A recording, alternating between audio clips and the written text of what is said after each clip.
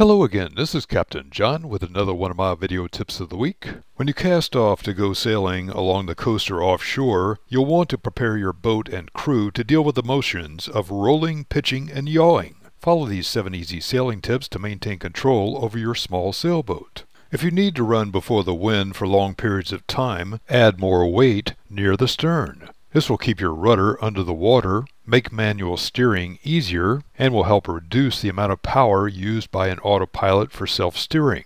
Use course averaging to maintain the sailing track line. This will make manual steering by wheel or tiller easier in rough weather. Steer a few degrees to the left side of the course line, and then a few degrees on the right side of the course line. The course you make over ground will be similar to that of your intended sailing track line.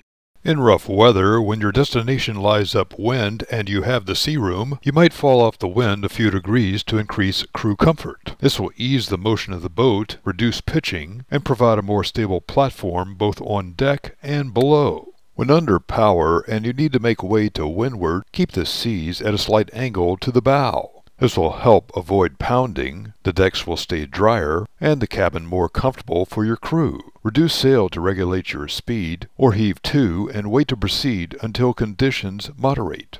Heavy weights at the bow, such as boat anchors and ground tackle, can increase pitching or the up and down motion of your boat. Shift weights more toward the center of your boat and keep those weights close to the center line near the keel. When running downwind in rough weather under sail or power, you might consider towing warps or long bights of line attached to the stern at each quarter. This will help keep your stern square to the seas. If you are running under power, you want to keep that line clear of your propeller. Attach flotation all along the line to help you achieve this goal. Now you know seven ways to put you more in control when sailing in rough weather. Use these easy sailing tips for safer sailing on the waters of the world. This is Captain John, and this has been another one of my video tips of the week. Find more sailing tips and techniques on www.skippertips.com.